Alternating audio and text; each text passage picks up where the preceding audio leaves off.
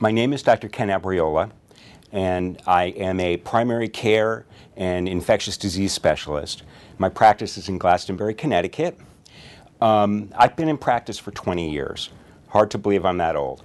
Um, but uh, I am actually pretty much uh, locally grown. I uh, was born and raised in Connecticut, did my undergraduate at Boston College. Then I came back to University of Connecticut to go to medical school, residency at St. Francis Hospital, and then um, I left for a little while again. My fellowship was at Tulane University in New Orleans. Infectious disease came out of an interest in public health, in social justice, in global health interests. I started going to Haiti as a volunteer way back when I was in Boston College. And I was just overwhelmed by the need there. So uh, I went back several more times.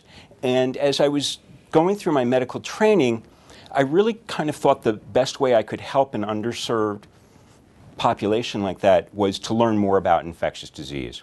So that's where I started to focus. And in fact, um, Tulane uh, was particularly appealing to me because what I was able to do there was not just a general infectious disease fellowship, but actually a master's in public health and tropical medicine. So I could really get to focus on, on learning about tropical medicine. Now you'll say, how much tropical medicine do you see in southern Connecticut, doctor, or southern New England? But um, I apply that in my practice of travel medicine.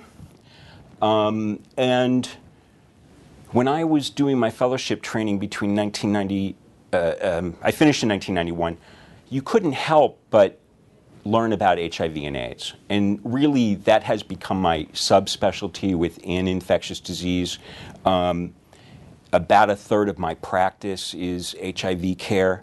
Uh, before I opened my private practice in Glastonbury, I was working for um, Hartford Hospital in their HIV program, and I was doing 100% HIV and AIDS work. Um, and that's actually part of the reason I chose to go into private practice. I wanted to diversify.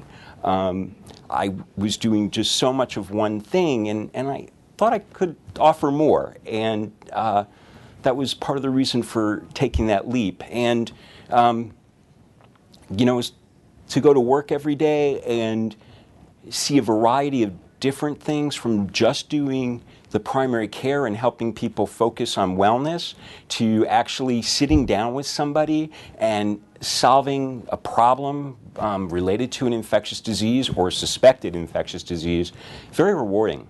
So I really hope that when you come to my office, number one, you feel comfortable. Um, we try to make a welcoming environment. Um, I don't want people to feel rushed there. I want someone to feel like when they left that he really listened to me and he's trying to understand my concerns and my problems. I, I should comment that, you know, um, I'm still one of those doctors who does both office work and hospital work. Um, my hospital work is largely in a consultative mode, um, doing infectious disease for both Rockville Hospital and Manchester Memorial Hospital. And what I have to tell you um, that I like so much about working in this environment is that these are small sized community hospitals. And most of the time, whether it's in the afternoon or the evening shift, I know the person who's called me on the phone and they're talking to me about whichever patient they have a question or a concern about. And knowing that person and, and their judgment and their concerns, um, I feel like I can do that much better a job in taking care of the persons that I'm involved in. It's not a big city, you're little fish in, in a giant ocean kind of feeling that you can get with a large tertiary um, institution.